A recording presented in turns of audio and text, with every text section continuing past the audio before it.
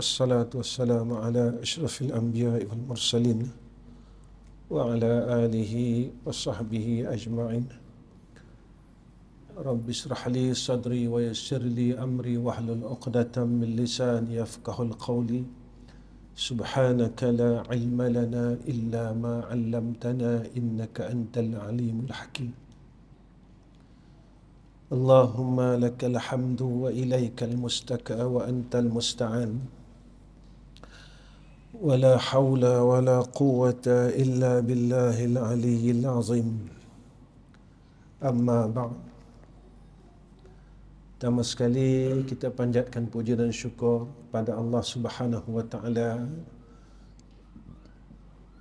dengan kurniaan kasih sayang yang Allah berikan kepada kita adalah kerana kasih dan sayang Allah. Dan Allah masih berikan kita peluang ini atas kasih dan sayang Allah. Dan Allah masih sayang kita. Lalu Allah berikan kekuatan, Allah berikan pertolongan, Allah berikan ruang masa. Jika Allah tak suka kita dan Allah benci kita, lalu Allah sibukkan kita kepada perkara yang menjadikan kita lalai daripada mengingati Allah. Jika Allah mula tak suka kita, kita akan semakin jauh dengan Allah Subhanahu wa taala. Kita jadi tak boleh ingat Allah. Tapi jika mana Allah masih lagi memberikan kita buka pintu untuk kita pintu mengingati dia tak kiralah dengan dengan dengan cara apa dengan cara mengaji dengan cara mana dan perkara itu menjadikan sebab kita boleh ingat kepada Allah maka tu tanda kita masih dalam kasih sayang Allah. Sebab itu harta kemewahan pangkat yang besar tak boleh kita ukur. Sebab apa? Sebab Allah berikan juga kemewahan harta ini pada orang yang Allah benci. Eh, pangkat dan semua perkara dalam dunia ni Allah berikan kepada orang yang Allah benci. Eh. Tetapi perkara itu menjadi asbab kita jauh dengan Allah. Kita jadi lupa, kita jadi tak ingat nak balik. Eh. Baik itu dua tiga hari dalam seminggu ni saya selalu ingatkan. Eh saya selalu ingatkan diri saya dan jamaah masjid. Tahun depan kita dah cukup 100 tahun fasa terakhir. Tahun depan. Tarikh kejatuhan khilafah Uthmaniyah 1924 2024 cukup 100 tahun. Eh jika tuan-tuan ah, nak sebut gitu sebelum saya baca kitab ni. Jika genap 100 tahun tu saya hidup tuan-tuan hidup. Dan waktu itulah yang Nabi kata apabila cukup 100 tahun maka masa lahirnya zakhirnya mujadid akhir zaman telah tiba. Bila tak tahu? Mungkin 105, 110 kita tak tahu. Kerana itu rahsia Allah. Tapi jika umur kita panjang sehingga tahun depan kita sedang berada di fasa terakhir kurun terakhir. Ni yang buat kita jadi takut. Takutnya kenapa? Saya selalu ulang benda tu kita tak boleh jadi orang baik lagi. Kita dengki lagi. Kita tak boleh lagi. Walaupun dah berada di fasa akhir. Eh? Kemarin rasanya saya bersembang dengan anak-anak saya. Eh, besok apabila hampirnya dajjal keluar eh kita ni akan kekurangan makanan. Bukan kurang lagi tak ada makan. Makan tak ada makanan tak ada. Eh? Kita simpanlah macam mana makanan pun makanan tu akan tak ada. Sebab nabi dah kata waktu itu makanan tak ada. Eh? Jadi ini cerita pasal makan ke cerita pasal iman Nabi kata orang yang kenyang adalah orang yang beriman. Saya selalu cakap dengan diri saya dan tuan-tuan. Saya tak risau pasal makan tu. Saya tak risau pasal tak ada makan. Saya risau takut saya orang yang termasuk dalam manusia yang kelaparan waktu itu.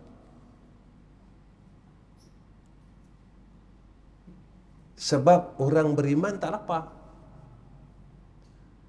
Pagi makanannya subhanallah sampai tengah hari petang walhamdulillah malam Allahu ak Allah kenyangkan mereka. Jadi jadi tanda tanya kalau yang kenyang ni orang beriman, yang lapar ni siapa?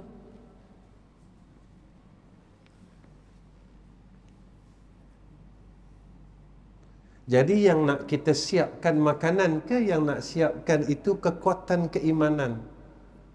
Tahkiknya iman. Benar-benar beriman. Langsung tak ragu. Kita kena kena kena bersiap sedia. Bukan bersiap sedia dengan ada orang bagi tahu saya, tuan-tuan, ni minta maaf lah. Ustaz, kita dah sampai akhir zaman, kena siap parang Ustaz. Bukan. Bukan siap senjata perang tak. Nak siapkan iman.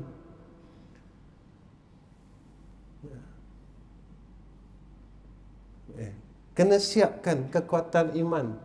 Sebab orang beriman pada satu pihak yang lain. Orang kafir pada satu pihak yang lah. lain. Kita kena tanya rukun iman yang enam ni kita tahkik tak? Dengan Allah tahkik tak? Dengan Rasul tahkik tak? Dengan Al-Quran kitab Allah tahkik tak? Bukan satu ayat. Kan kita belajar Quran ni kalau satu huruf kita ragu jatuh. Betul tak? Kalau satu ayat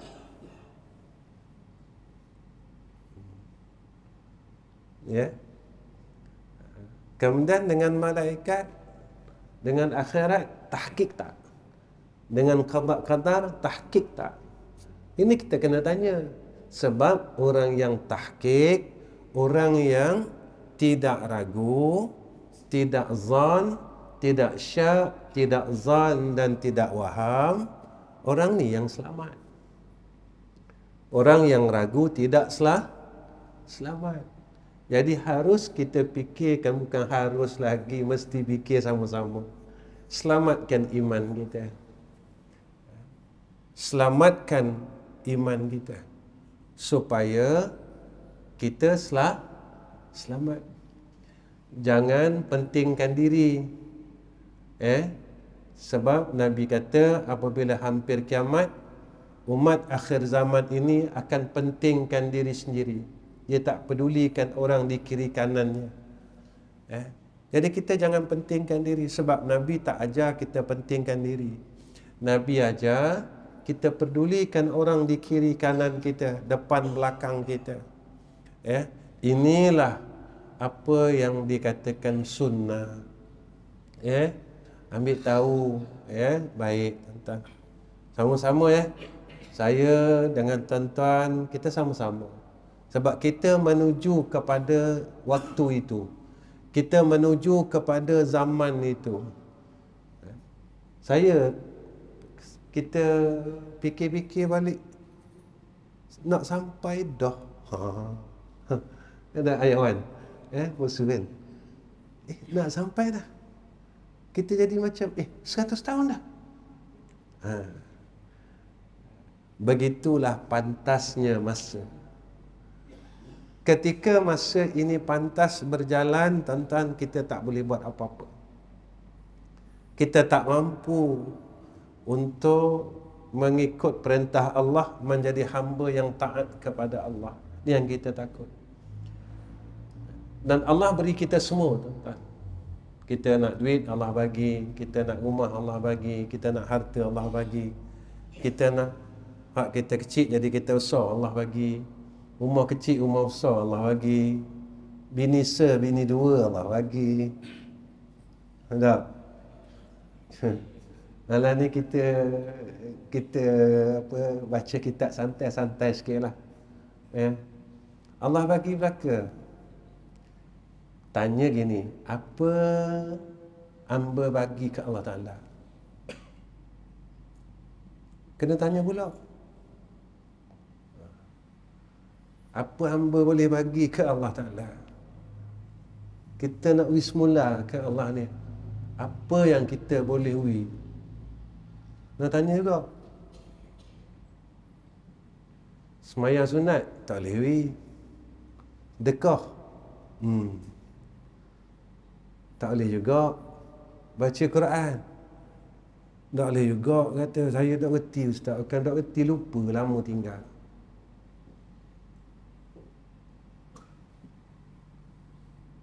Boleh tak kita jadi orang baik? Tu je.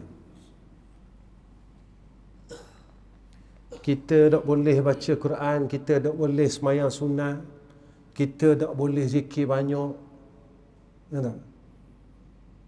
kita tak boleh raka tapi dunia boleh Anak, dunia boleh ha.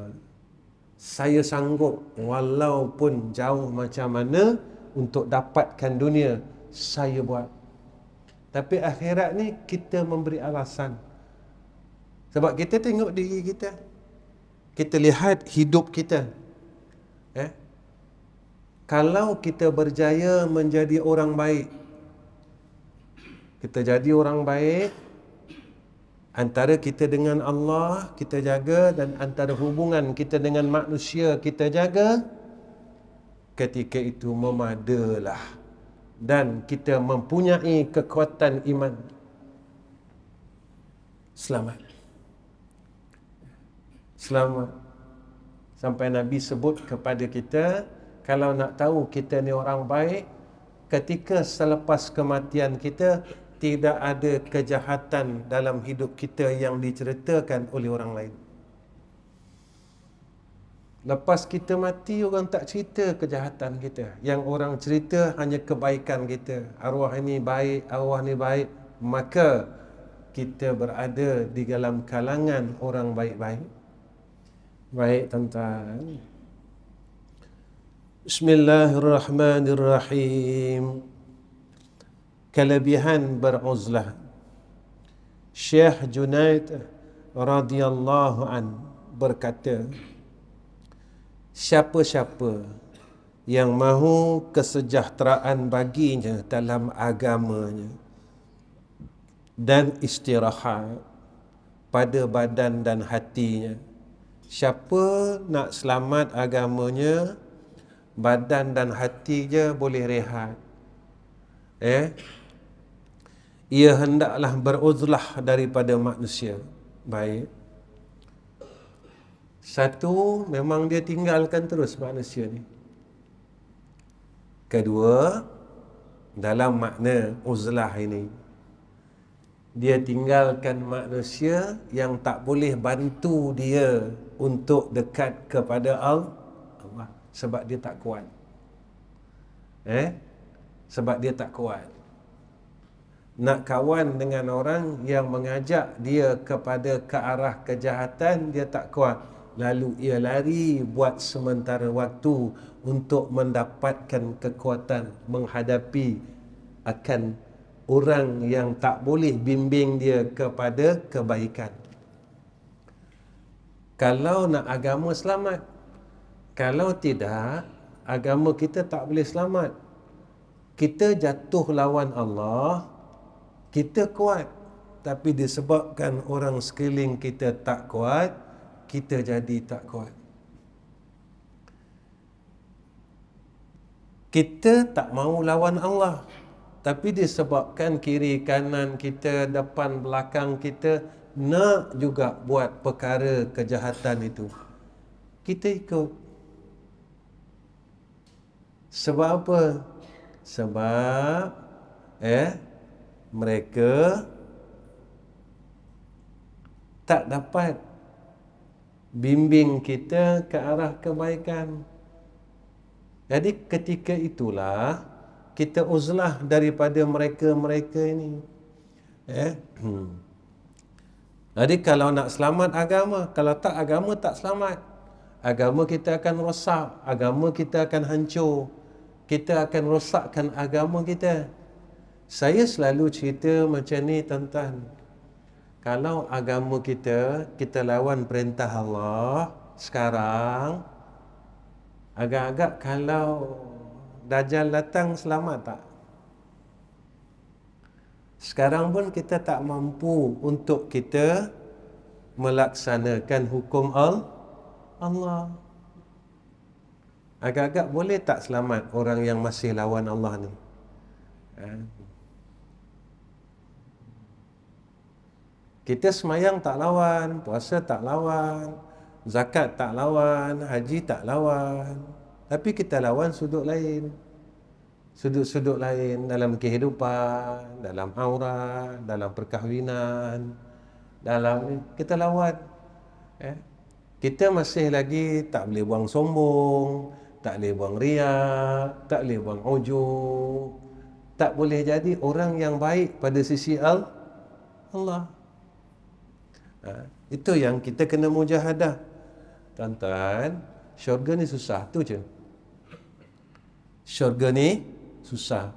Dan tak semua orang boleh pegang, boleh mencium, boleh berada di dalam sebesar-besar nikmat itu. Kerana apa? Kerana orang yang berada dalam syurga sahaja yang mendapat nikmat paling besar iaitu tawajjahtu min haitsu syi'ta. Apa dia? Dapat melihat akan wajah Allah. Orang neraka tak apa eh? Jadi kalau kita masih tak boleh jadi orang yang baik pada sisi Allah, maka peluang kita untuk masuk syurga susah. Bukan tak boleh masuk, tuan-tuan boleh. Sebab ada hadis, Nabi kata, orang yang ada iman, walau sebesar zarah, dia akan masuk syurga juga. Masalahnya macam ni. Masalahnya kita kena duduk neraka dulu. Lama mana tak tahu. Kita kena duduk neraka dulu. Lama mana kita tak tahu. Kalau kena seribu tahun tuan-tuan kena bakar guna tuan-tuan. PKP ha. lockdown dulu kita tak boleh tubik rumah. Azab tak tuan-tuan? Azab. Kita rasa bosan. Orang lain ada depres, ada bunuh diri. Sebab ha. tak boleh tubik ya. Neraka ni bukan ada tempat jalan sana, jalan sini. Hak kita dengar cerita hak boleh jalan sana, jalan sini, syurga. ya, syurga je tuan-tuan. Kalau masa lockdown dulu, kita tak boleh pergi situ, tak boleh pergi sini, pergi mari, pergi mari, tak boleh. Kita hanya duduk di dalam rumah sahaja, kita rasa bosan, kita rasa tertekan, bagaimana keadaan ahli neraka kelak. Itulah. Ha? Ha. Jangan kata kita ni kalau boleh tak nak singgah langsung pada neraka Allah. Ini harapan kita. Maka dalam dunia ini pilihan kita. Tapi kalau kita pilih juga nak masuk neraka, maka kita teruskan apa yang kita buat sekarang. Kalau kita masih ada hasad, teruskan hasad. Kalau kita nak masuk neraka, kalau kita masih lagi sombong, teruskan sombong jika kita nak masuk neraka. Kalau kita nak masuk neraka, nak jumpa juga neraka, maka teruskan perkara yang dilarang oleh Allah Subhanahu wa taala. Kita dah tak ada masa tuan-tuan. Tahun depan dah genap 100 tahun. Masa dah tak ada langsung. Jika kita tidak berubah daripada sekarang, maka kita rugi. Kita tak tak ada kesempatan itu. Betul lah apa yang Allah sebut dalam Quran. Kan? Boleh tak lewatkan kematian kami? Nak buat apa kata Allah? Aku nak buat nak sedekah. Mudah-mudahan aku dapat jadi orang sah saleh. Betul lah sebab kita kita buat kita buat buat buat tak apa tak apa. Eh tak apa.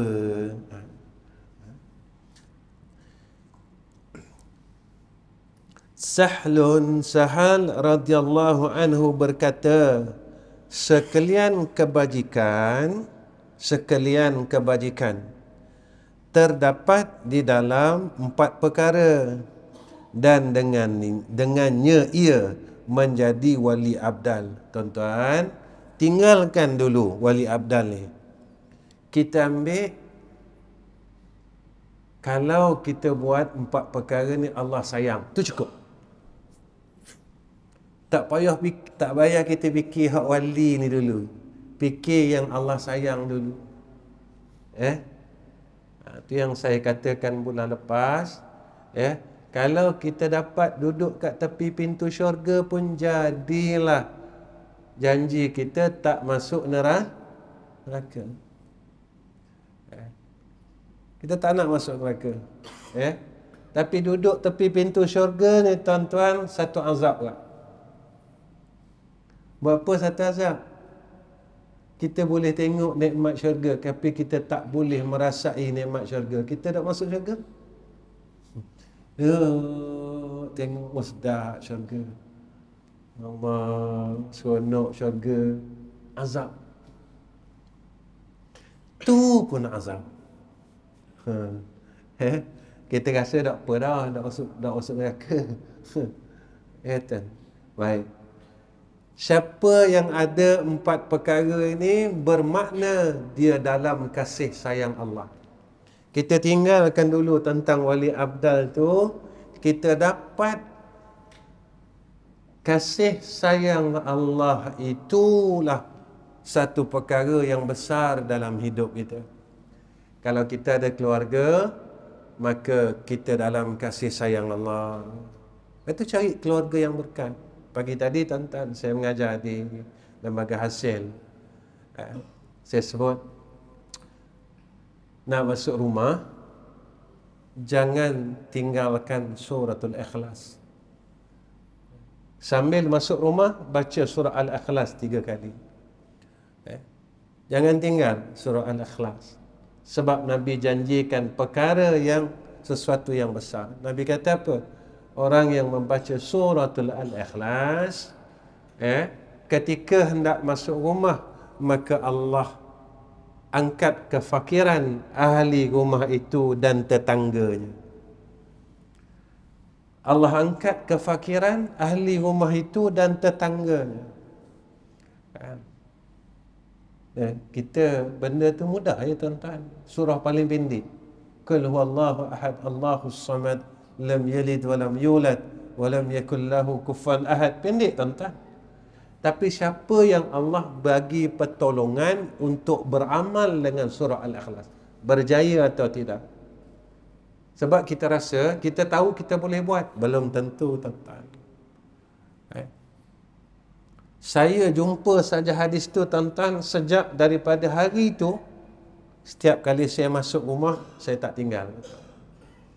Sebab apa? Eh? Benda apa yang Nabi janjikan benar. Benda apa yang Nabi janjikan melalui hadisnya tak ada satu yang dusta.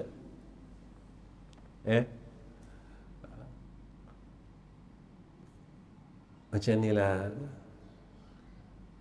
Nabi bagi kita jalan Tapi Kita tak nak ambil Sombong tak tuan-tuan? Tapi kita tak rasa kita sombong. Halus saja sombong Halus saja Sikit saja sombong. Sampai Nabi sebut Tidak akan masuk syurga Orang yang di dalam hatinya Ada sebesar zarah kesombongan. Sebab kita rasa kita kaya. Hmm.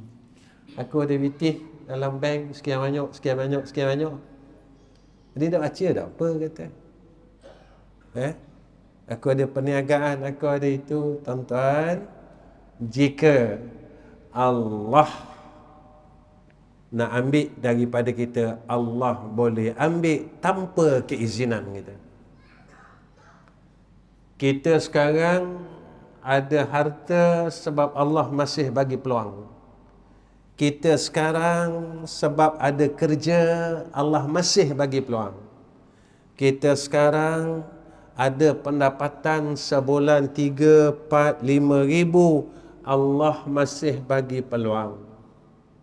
Jika Allah tidak berikan kita peluang ini, Allah akan tarik seperti mana Allah telah tarik kepada saudara-saudara kita yang lain. Ramai tuan-tuan, Allah dah tarik. Ya. Allah tarik tuan-tuan. Ya. Ada orang mesej saya punca penceraian dia, suami dia hilang kerja. Dia bercerai dengan suami dia sebab suami dia dah hilang kerja dan tak boleh bagi nafkah kat dia. Saya bercerai ustaz dia kata. Kita Allah tak tarik lagi. Dan Allah boleh tarik tuan-tuan. Kita jangan sombong. Kita jangan sombong dengan kekuasaan Allah. Kita jangan sombong dengan pentadbiran Allah. Sebab itu, kenapa Allah bagi kita peluang lagi? Sebab Allah buka jalan kebaikan kita lagi. Sebab Allah masih sayang kita. Jadi gunakan apa yang Allah masih berikan kepada kita supaya kita dapat berpeluang jadi orang baik dan dapat masuk syurga Allah.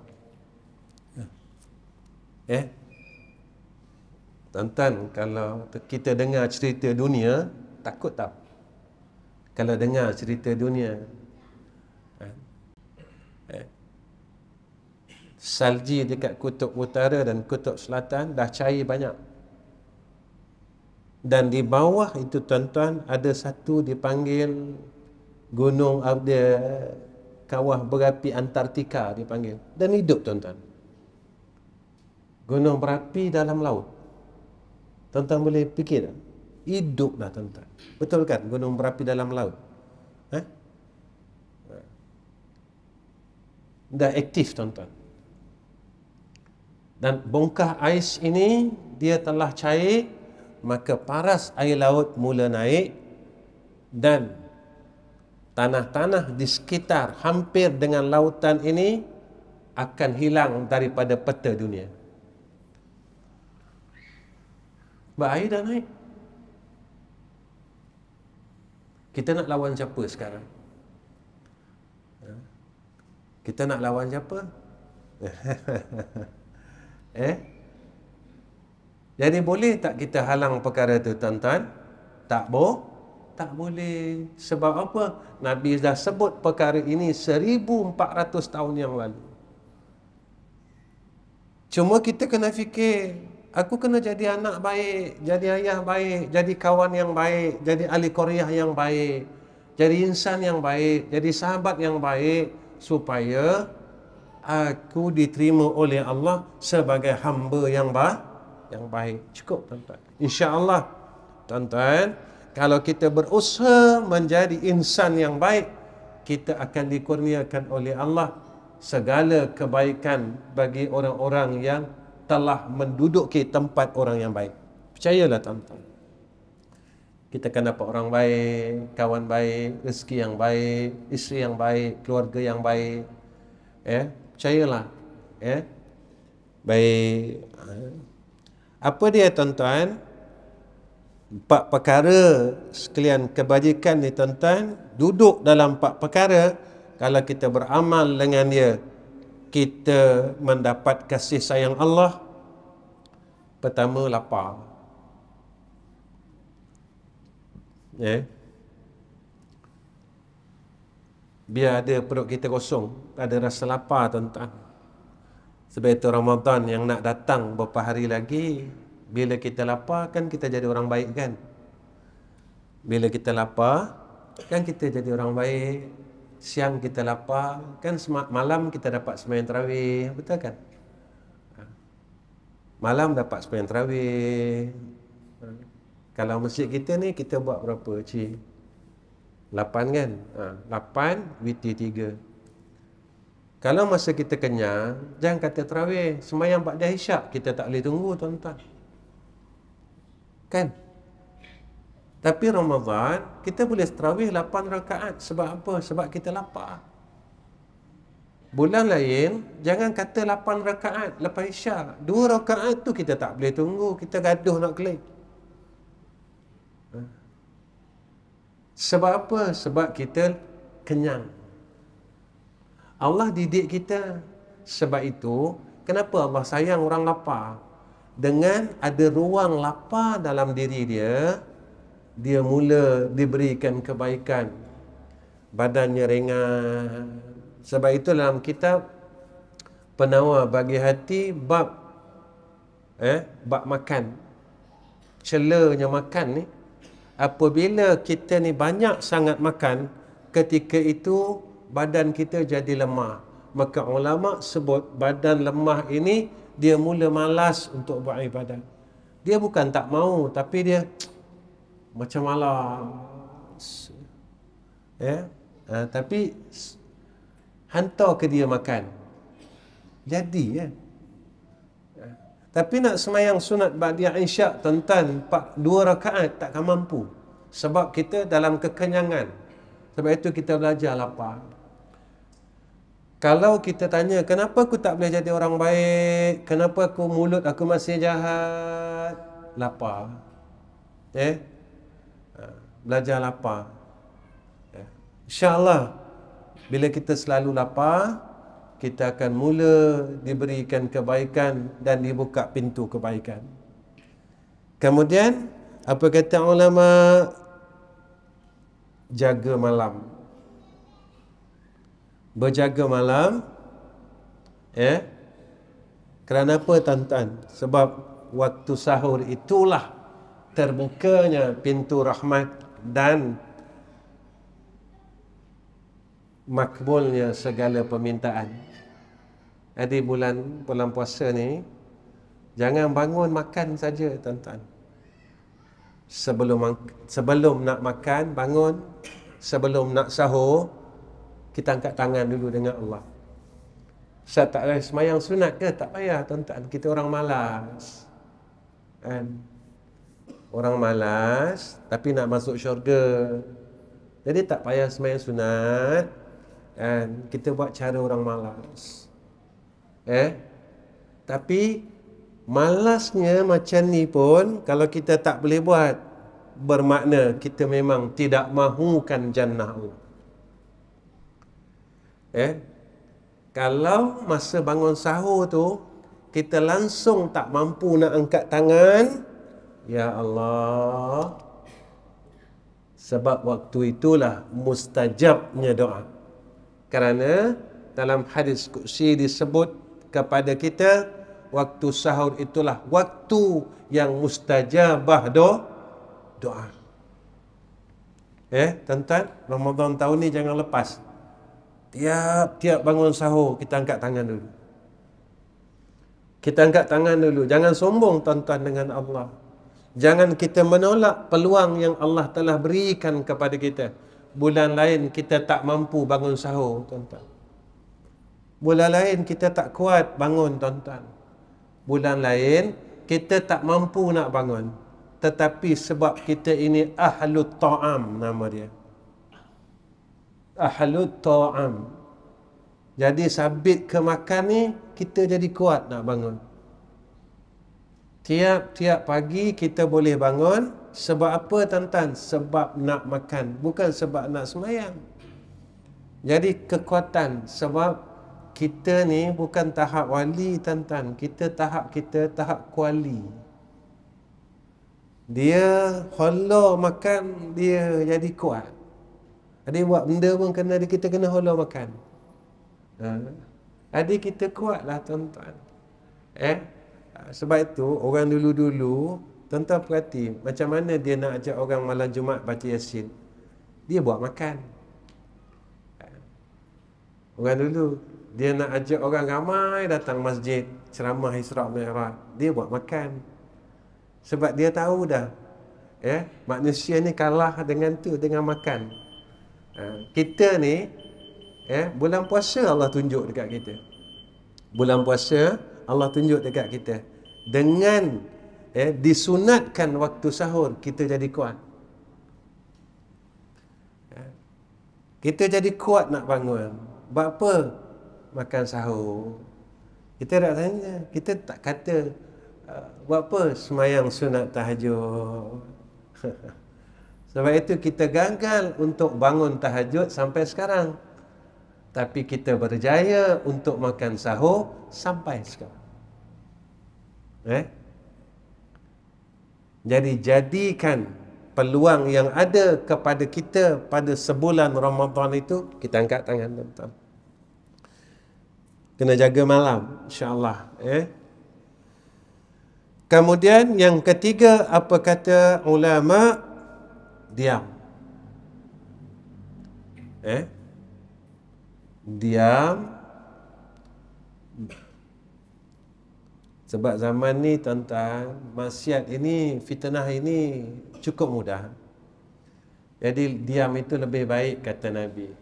Siapa yang beriman dengan Allah dan hari akhirat apa kata Rasulullah? Falyakul khairan aw liyasmut. Berkatalah perkataan yang baik ataupun diam ya Eh? Sebab sekarang ni zaman kita zaman fitnah besar. Eh? Fitnah ni datang tuan-tuan bukan depan saja. Depan, belakang, kiri, kanan datang. Dan kita jadi lemah. Sampai Nabi kata, siapa yang boleh beramal dengan agama pada ketika itu Nabi kata, satu amalannya menyamai amalan 50 sahabat mana zaman tu orang dah mula tinggalkan agama. Tinggalkan agama. Takut tuan-tuan sekarang ya ha. Baik dan yang keempat macam mana nak dapat kasih sayang Allah khalwat Khalwat ni apa tuan-tuan? Bukan khalwat hak yang orang yang di itu. Oh tu kata ustaz suruh buat maksiat. Dan masa kata khalwat ini kita menyendiri antara kita dengan Allah. Bagi masa tuan-tuan. Kita ada masa masa kita dengan Allah. Kita duduk. Kita nak buat apa? Ustaz nak buat apa? masa kita dengan Allah bagi masa tuan-tuan nak semayang tuan semayang bagi masa sejam itu khusus kita dengan Allah kita lupakan semua perkara urusan dunia semuanya makhluk di sekeliling kita kita lupakan sekaliannya pada ketika itu antara aku dan Allah kita luahkan kerinduan kita dengan Allah kita luahkan kerinduan kita dengan Sayyidina Rasulina Muhammad sallallahu alaihi wasallam dalam masa satu jam tu tuan-tuan. Cukuplah makom kita satu jam cukup. Kita tinggalkan semua urusan. Eh? Kita luahkan. Kita luahkan kerinduan kita dengan Allah. Kita luahkan kerinduan kita dengan Sayyidina Rasul. Kita gunakan tuan-tuan. Kita gunakan masa itu. Ya tuan-tuan. Eh?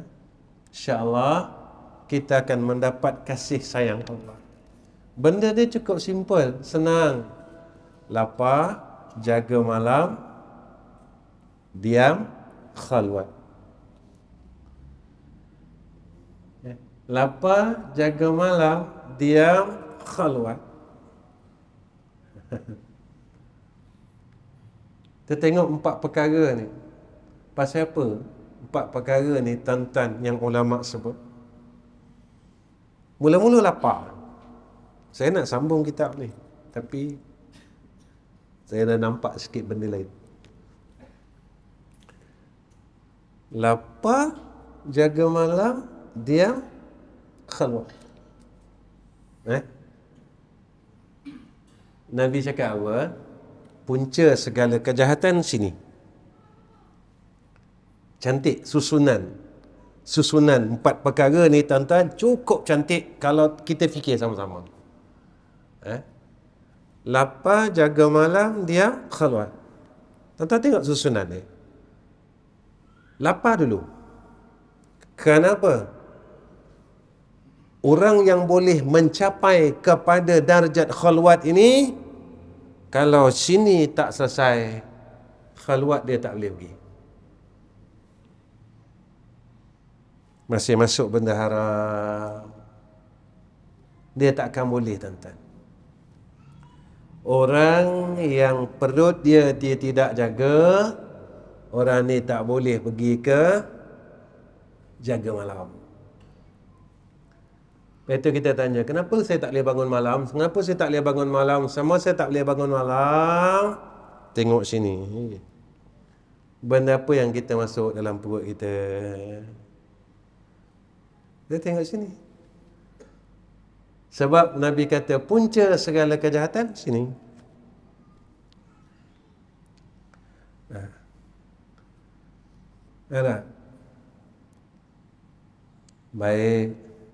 Dan tidak akan ada kejayaan dalam khalwat jika kita masih lagi sibuk dengan hal makhluk di sekeliling kita. Lepas itu dia suruh diam. Tuan-tuan, tuan-tuan tengah bergaduh dengan isteri tuan-tuan. Seronok tak semayang? Ni baru bergaduh dengan isteri ni. Tak ada. Kem dia? Kem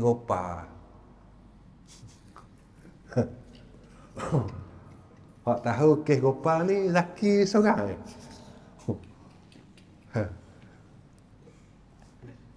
Hak faham dia senyum dia senyum sendiri ya. Oh, rahsia, rahsia. Kita baru bergaduh dengan isi kita tantang. Lalu kita semayang. Allahu Akbar. Kita rasa tenang tak? Kita tak tenang. Kita tak tenang tentang. Nampak tak? Maka orang yang tak boleh menyelesaikan perkara sukut itu, diam itu, dia tidak akan boleh mencapai kepada tempat khalwat itu. Orang yang tak boleh menyelesaikan perkara makan itu Dia tidak boleh melaksanakan berjaga pada waktu malam ha. Eh, Jadi kalau nak bangun malam Tengok sini Kalau nak berjaya dalam khalwat Tengok sini tengok hubungan kita dengan makh makhluk. Eh? Insya-Allah ketika kita khalwat eh ketika kita khalwat ketika itulah kita akan mendapat natijah daripada khalwat. Eh? Khalwat ni seronok tuan-tuan. Eh? Khalwat ni seronok. Eh. Saya pernah keluar tuan-tuan 40 hari tak keluar rumah. Saya tak keluar rumah 40 hari, saya puasa 40 hari. Direct puasa 40 hari. Saja kongsi lah. Nak cerita seronoknya. Eh, satu hari kita boleh zikir puluhan ribu. Sebab kita tak fikir benda apa, kita tak fikir. Tapi saya nak masuk khalwat, saya minta dengan isteri saya dulu. Boleh tak izinkan saya masuk khalwat? Dan dia kata boleh, boleh lah. Sebab kita ada kewajipan sebagai seorang suami. suami. Ha, nafkah kena asingkan. Ni dia duit untuk pasar apa semua. Cuma saya je tak ada. Seronok tuan-tuan. Bila kita dalam keadaan kita di luar khalwat, kita nak habiskan seribu zikir pun tak boleh. Nak baca kulwallahu ahad pun tak boh, tak boleh. Ada riwayat tuan-tuan, riwayat. Tapi hadis ni eh, mengikut rawi dia, hadis ni daif. Eh? Hadis ni daif. Tapi hadis daif boleh pakai. Siapa yang membaca surat Al-Ikhlas 200 kali sehari, Allah ampunkan dosa dia 50 tahun. Sehari 200. Eh? Dengar sedap tak? Sedap lah. Tapi nak buat 200, 200, 200 sehari. Usah. Ha. Ya tak? Kita kalau orang janji dengan kita, mu kerja dengan aku, aku beri kamu 200 riyal. Sungguh kita, sehari je kata. Kau beri gaji kamu 200 riyal. Sungguh kita tuan-tuan. Kerja mudah ya. Mudah kira kereta kata. Kereta lalu mu kira. Sedua tu kerja mu.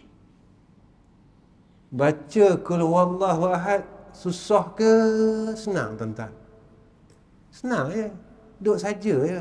Kul wallahu ahad Allahu samad. Lam yalid wa lam yulad wa lam yakul lahu kufuwan ahad. Duduk saja depan sejik kereta lalu se. Dua tiga empat lima. Pas minyak duduk mari kereta. Mari lok sebutir tujuh gitu lah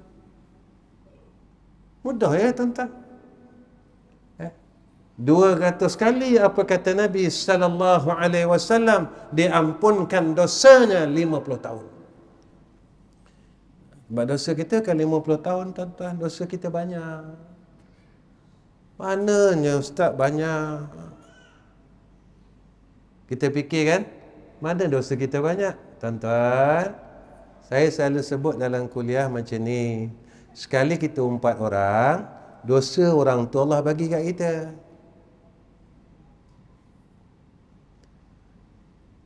Ibadat kita, Allah bagi dekat dia. ke saya salah? Kalau saya salah tolong betulkan. Saya tak pandai. Tuan-tuan yang panggil saya ustaz. Saya tak pandai. Kita kalau empat orang, ustaz ni tak habis-habis cerita mengumpat ni kenapa tiap-tiap kuliah? Sebab itu benda yang kita tak boleh berhenti. Benda tu kita masih tak boleh berhenti. Saya kena cakap terus. Kalau tuan-tuan semua dah boleh berhenti, yang duduk dengan saya semua dah boleh berhenti, saya tak payahlah cakap dah. Buat apa cakap benda yang dah tak ada. Saya kena ingatkan diri saya, tuan-tuan. Kena ingat. Kalau dalam hidup kita, kita pernah cerita hal orang seribu orang. Bermaknanya, kalau orang tu 50 tahun, kalau orang tu umur 60 tahun, kalau orang tu umur 70 tahun, Eh berapa tahun dosa kita yang Allah bagi ke kita ni? Dah gitu. Tapi kita tak perasan. Oh. Sebab kita bawa balik umrah. Semayang di Sejid Haram sejuta kita kata. Oh boleh dah seratus ribu saya semayang dah ustaz sepuluh kali. Boleh sejuta. Oh pada dah. Surga pindah saya ustaz. Banyak dah ibadah saya saya ni. Jangan gitu tuan-tuan.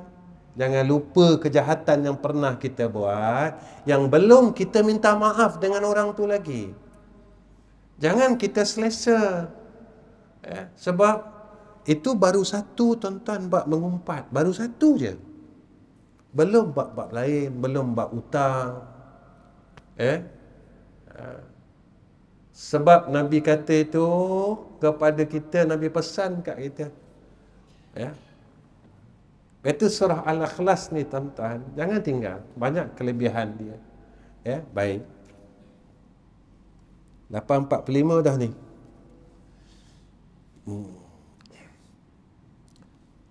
Kelebihan berfikir.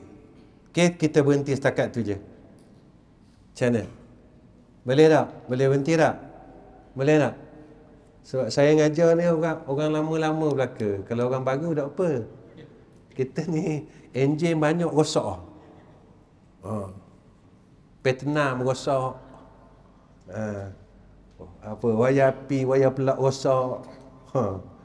ha. jadi rasa pada dah tak? Boleh dah ya? Ha. kita jumpa lepas pada raya insya-Allah.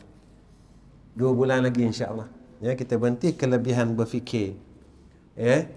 Jadi tuan-tuan, masya-Allah, tabarakallah. Sebenarnya mengaji tak perlu lama pun. Apa yang kita dapat pada malam ini kita boleh jadikan dalam kehidupan kita.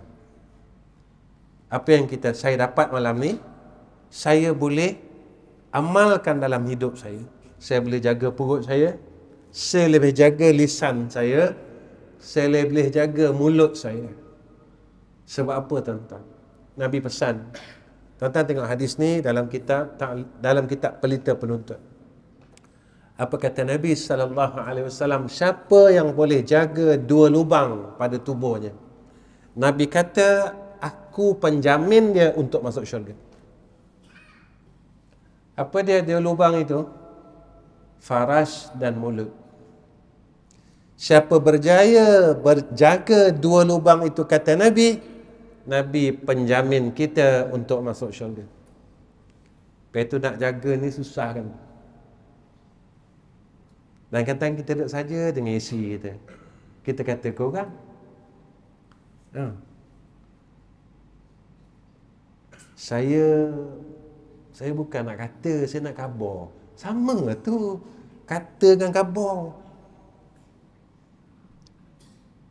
Dia nak pusing juga tuan-tuan hukum Allah Ta'ala. Ha. Ya. Jadi tuan-tuan, jangan kata kita orang baik dulu. Ya. Saya pun usaha nak jadi orang baik. Saya bukan baik tuan-tuan. Sebab itu saya selalu cakap dengan tuan-tuan. Saya bukan baik. Tapi saya tak usaha jadi orang baik. Jadi tuan-tuan ada sama dengan saya malam ni. Saya ajak semua-semua sama-sama. Jomlah kita jadi orang baik. Ah, mulut kita tak boleh berhenti lagi kita tak boleh buang keegoan kita sebab apa saya ajak tuan-tuan sebab saya nak kita semua sama-sama besok macam mana kita kumpul boleh tiap-tiap bulan dalam masjid ni saya nak kita sama-sama besok kumpul dekat jannah Allah itu aja tuan-tuan eh dekat sana kita akan tegur menegur tuan-tuan eh kalau kita masuk syurga tuan-tuan di sana kita akan tegur menegur kita akan sama-sama kita akan Ustaz kenal saya tak? Ha. Nanti Pak Su panggil saya. Saya panggil Pak Su. Gitu lah. Kita akan panggil memanggil, tegur menegur. Pada kita kita jumpa balik tuan-tuan. Betapa indahnya pertemuan itu. Kerana pertemuan itu di dalam jannah Allah. Ya, tuan-tuan baik. Takat ni ya, pertemuan saya dengan tuan-tuan. Tuan-tuan tolong doakan saya. Saya dapat jadi orang baik.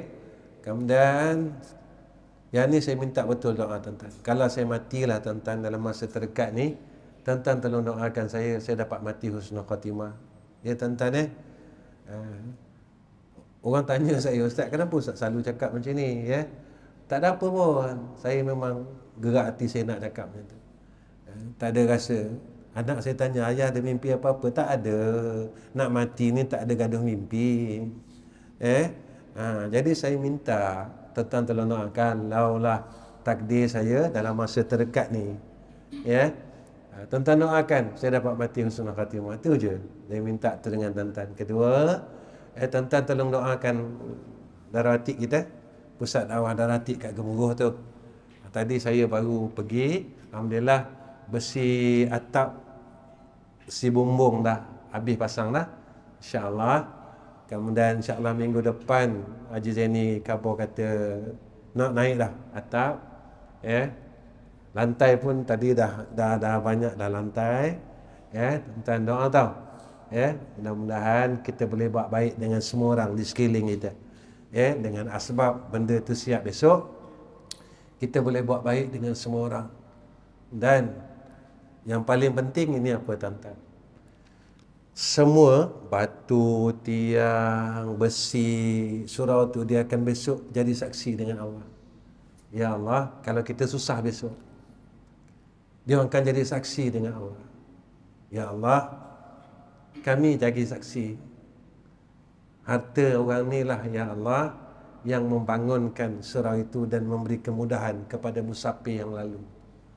Eh, tuan-tuan tahu kan saya nak saya akan buka surau itu pada musafir yang lalu. Musafir yang lalu perjalanan daripada Kuala Terengganu ke Kelantan yang berhenti di stesen Petron. Saya akan buka tuan-tuan. Madrasah tu 24 jam. Eh? jadi tuan-tuan dan besok dia jadi saksi berapa ramai yang solat di situ yang dapat kebaikan daripada surau itu tuan-tuan sebab surau tu bukan hanya untuk madrasah saja. Kita buka tu orang ramai. Sebab sebelah tu Petron. Jadi kalau hari cuti, ya, eh, tuan tengok nak kencing susah, nak buang air susah, nak semayang susah, ya. Eh. Jadi mereka dapat kemudahan yang ni, yang lebih baik. Tuan-tuan, kalaulah beribu orang semayang di surau itu, kita dapat pahalanya. Eh, jadi tuan-tuan tolong doa tak? Ustaz, kalau saya nak hantar simen boleh tak? Lagi bagus. Doa pun doa, simen pun hantar. Pun bagus juga. Eh? InsyaAllah tuan-tuan. Ustaz. Eh? Kalau tuan-tuan nak hantar simen, nak hantar apa, nak hantar pasir, nak hantar apa-apalah. Eh? Ustaz, kalau dah siap besok, saya nak belikan kapet boleh? Ha, tuan-tuan tanya Haji Zaini. Ha, ya? Ha, tuan-tuan tanya Haji Zaini. Ya. Ustaz saya nak belikan cat boleh? Boleh. Ustaz saya nak doa aja boleh? Boleh. Ustaz saya tak nak doa, Ustaz mapuh kemulah. Pun boleh juga. boleh. boleh juga. Tak kisah. Saya tak ada tak ada apa-apa. Tuan-tuan, uh, sepanjang saya mengajar ni tuan-tuan, Orang datang jumpa saya Ustaz saya minta maaf boleh Dia kata saya tak kenal abang pun Saya tak kenal abang pun Kenapa abang minta maaf dengan saya Saya pernah kata Ustaz Dalam Facebook dia kata Dalam YouTube Saya pernah maki Ustaz dulu Saya pernah kata Ustaz dulu Saya kata bang Kalau abang tak minta maaf pun Saya dah maafkan seluruh orang yang buat kes, ke apa buat yang tak baik dengan saya. Saya tak pernah simpan. Eh? Saya tak pernah simpan pun dalam hati saya ni. Buat apa saya simpan tuan-tuan tak ada guna pun. Eh? Tak ada guna, tak ada manfaatnya dunia akhirat.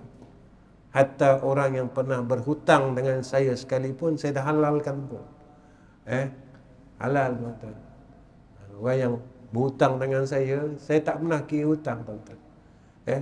Walaupun akad itu akad hutang Pada saya, saya dah halalkan ha, Tak payah bayar je Tak apa ha. Kita orang tanya, tak apa lah sikit Ustaz Tuan-tuan tahu berapa orang hutang saya? Hampir 400 ribu Bukan 40 riyal Bukan 400 tuan-tuan Ribu Eh? Tapi buat benda pun tuan-tuan Duit ni sebenarnya jadi apa kat kita? Jadi apa? Tapi kalau kita niatkan, kita dah tahu. Benda ni tuan-tuan, kalau kita tak tak niatkan sedekah, kita tak akan dapat duit tu balik. Betul tak? Tapi kalau kita niatkan sedekah jadi amal saleh tak tuan-tuan? Kepala kita pening tak? Tak pening. Kita tak dapat pun tuan-tuan. 20 tahun dulu, 15 tahun dulu menjadi asbab mereka malu jumpa kita. Disebabkan hutang yang seorang 20 ribu, seorang 30 ribu. Ya, menjadi mereka ni putus hubungan dengan kita. Sayang tuan-tuan. Memang sayang. Apabila hubungan ini terputus disebabkan perkara itu, tuan-tuan, itu baru hutang dalam dunia kita dah malu tuan-tuan. Apalagi besok kalau orang tuntut kita hutang di akhirat. Ha? Dalam dunia je orang tuntut hutang kita, kita dah malu tuan-tuan. Apa besok orang tuntut hutang kita ke akhirat semua orang tahu. Ya, rupanya Ustaz Rizam ni ada hutang. eh? Kalau boleh, jangan berhutang. Tapi jadilah pemberi hutang. Ya? Orang yang lebih baik adalah orang yang memudahkan dan menangguhkan akan orang yang tak mampu bayar hutang. Lebih baik kalau boleh halalkan terus. Eh? Halalkan terus tuan-tuan. Eh? Tapi jangan beritahu dia Allah dalam hati je Kalau beritahu dia Memang tak boleh Sesih habuk pun ha. Ya Memang kita dah tahu tak boleh dah Boleh tuan-tuan Jadi orang baik macam tu 400 riyal insyaAllah Ustaz 400 ribu rasa Rasa tak rok rasa ha. Tuan-tuan syurga ni bukan murah Syurga tak murah kalau syurga tu murah, mudah, ramai orang masuk syurga. Eh? Dia perlukan pengorbanan. Sahabat nak masuk syurga, dia korbankan nyawanya. Eh? tak? Sayang kan tuan-tuan? Sayang tak? Sayang. eh? Nak masuk syurga susah kan? Susah. Nak semayang sunat susah kan? Susah. Nak sedekah susah kan? Susah. Nak bangun malam susah kan? Susah. Nak berhutang senang tak? Senang. Nak bayar hutang? Susah. Tak ada. Ha. Sebab bayar hutang ni pahala. Antara salah satu amal saleh bayar hutang.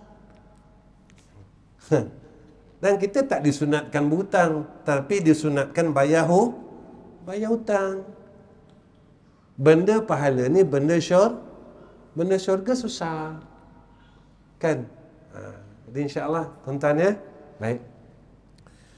Bismillahirrahmanirrahim. Alhamdulillahirrabbilalamin Wassalatu wassalamu ala asyafil anbiya wal mursalin Wa ala alihi wa sahbihi ajma'in. Ya Allah Ya Rahman Ya Rahim Pimpinlah kami Pimpinlah isi dan anak-anak kami.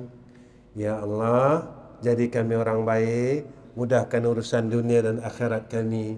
Ya Allah ya Rahman ya Rahim berkatkanlah akan urusan dunia dan akhirat kami. Ya Allah kurniakanlah seperti mana kurniakan atas kami seperti mana engkau telah kurniakan kepada orang yang saleh. Ya Allah peliharalah daripada segala perkara atas kami dan keluarga kami seperti mana engkau telah pelihara akan orang-orang saleh daripadanya ya Allah اللهم إنا نسألك رضاك والجنة ونعوذ بك من سخاتك والنار والحمد لله رب العالمين.